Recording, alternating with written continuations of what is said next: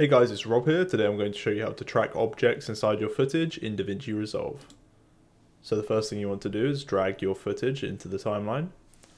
And we have this plane, nice silhouette of a plane. I want to track the plane. So we're going to come down to the color tab. Then we're going to go to the window tab. Select the pen looking tool.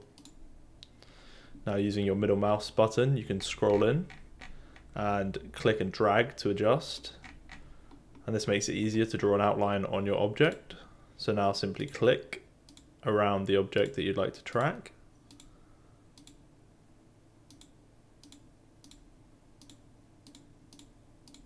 I'm just doing this very um, rushed just for the sake of the tutorial. And then link the last two nodes together. Now if we go to the tracking tab, which is just to the right of the window tab, just here, we're going to click the button that looks like a play button, which is track forward. And as you can see, the tracking now follows the plane forward. And if we move the timeline back, it follows it. Now if we move back to the start, we can see here the tracking is slightly off. To fix this, select the frame option, just here to the right of clip. Zoom in with your middle mouse button and then adjust the nodes by clicking and dragging. You can also add more nodes by clicking on the line.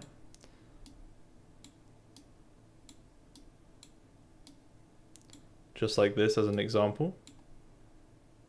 So now the tracking is a bit more where we'd like it to be.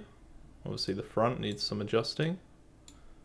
Now if you use your arrow keys, you can adjust frame by frame as you go along. And now when you play through the clip, the tracking will be more accurate. And that's kind of what you want to do. You want to go through and polish it up and make sure the tracking is perfect. So there you go, simple tutorial on tracking. There is a lot more to this, but this is just the basics. So thank you for watching, and I'll catch you again very soon.